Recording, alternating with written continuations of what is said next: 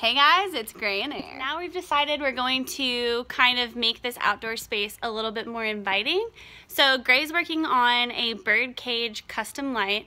We've had this cage sitting around the house for a couple of years and we thought this would be a great way to bring some light out here when our friends come over for dinner parties and also reuse some things we already own.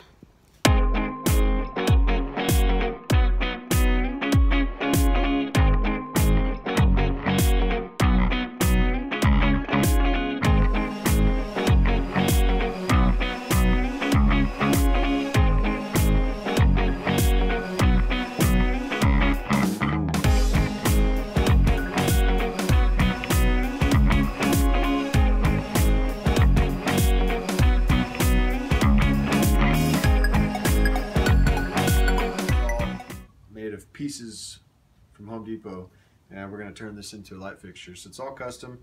I'm uh, stripping this down so that I can wire these up.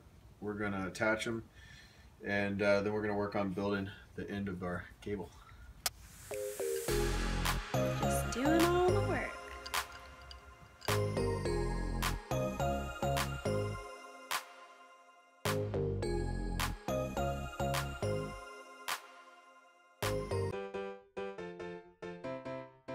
Right, we're getting closer.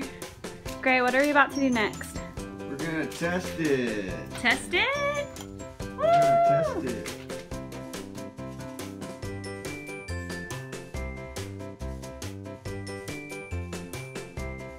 Three, two, one.